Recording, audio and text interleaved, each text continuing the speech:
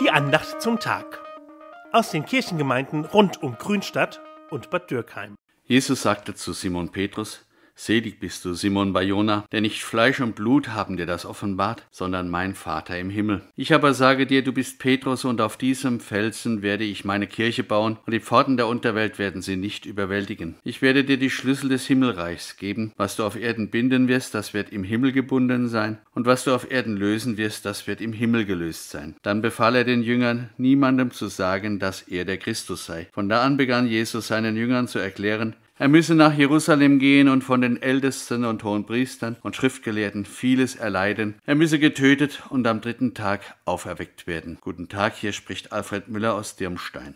Was ist der Sinn eines Lebens? Darauf gibt es ganz unterschiedliche Antworten. Erfolg und Besitz, Gesundheit und langes Leben, Anerkennung, eine tolle Arbeit, viel Spaß, glückliche Beziehungen, die Vermeidung allen Leides oder am besten alles zusammen. Das wirkliche Leben kann anders aussehen. Der Erfolg ist geringer, als er träumt. Der Besitz macht nicht glücklich, die Gesundheit ist gefährdet und zerbrechlich, die Anerkennung fehlt, die Arbeit ging verloren oder Beziehungen sind zerbrochen und am Ende wartet der Tod.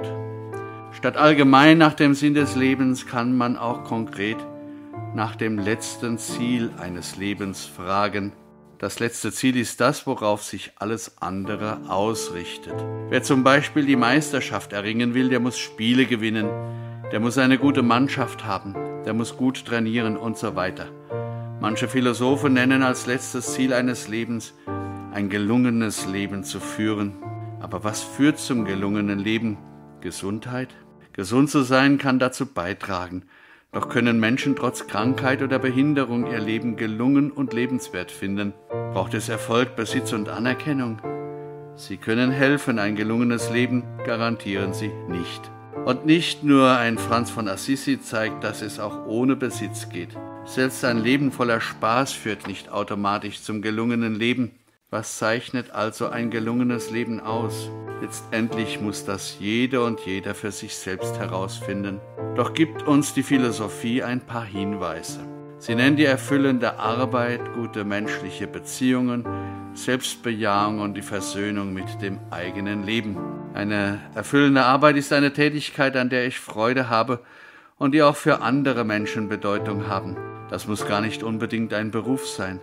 Das kann genauso die Arbeit in der Familie sein, wie das freiwillige Engagement in einem sozialen Projekt oder bei der Feuerwehr. Selbstbejahung bedeutet, die persönlichen menschlichen Möglichkeiten und Grenzen zu erkennen, dazu Ja sagen und sich mit dem eigenen Lebensschicksal zu versöhnen. Dazu gehört weder in der Vergangenheit noch in der Zukunft zu leben. Also kein hätte ich nur und auch kein wenn ich erst einmal. Nur in der Gegenwart leben wir wirklich und schließlich braucht es zu einem gelingenden Leben gute soziale Beziehungen, also Menschen, denen ich mich zugehörig fühle, sowie tiefe persönliche Beziehungen. Das sind die Menschen, die ich liebe und von denen ich geliebt werde. Die Antwort Jesu auf die Frage nach dem gelungenen Leben ist radikaler als die Antwort der Philosophen, weil er um die Vergänglichkeit und die Gottesbedürftigkeit des Lebens weiß und daraus zieht er eine radikale Konsequenz. Wer sein Leben an Weltliches hängt, der wird es verlieren. Jesus findet das wirkliche Leben dort, wo das Leben herkommt und wo es wieder hingeht bei Gott. Bei ihm findet Jesus auch sich selber. Wer hinter Jesus hergeht, sein Lebensmodell ausprobiert, findet sich selbst, weil er seine Mitmenschen, seine Mitgeschöpfe und Gott findet. Das letzte Ziel des Lebens ist dann ein befreites Leben. Die Antworten der Philosophen können uns zwar helfen, ein einigermaßen gelungenes Leben zu führen, die Nachfolge Jesu führt uns jedoch zu einem vom Ich befreiten Leben, das uns zugleich mit ihm, mit unserer Welt und mit Gott verbindet. Es ist ein erlöstes und solidarisches Leben. Lass uns beten. Guter Gott, dein Sohn Jesus will uns auf einen neuen Lebensweg führen, einen Weg, der uns für das Leben öffnet, damit wir uns selbst erkennen, damit wir unsere Mitmenschen als Geschwister und unsere Welt als deine Schöpfung erkennen, damit wir dich als Vater erkennen. Hilf uns, dass wir uns von deinem Sohn führen lassen. Darum bitten wir dich durch Jesus Christus, unseren Bruder und Herrn. Und der Segen des dreieinigen Gottes, des Vaters und des Sohnes und des Heiligen Geistes, komme auf euch herab und bleibe bei euch alle Zeit. Amen.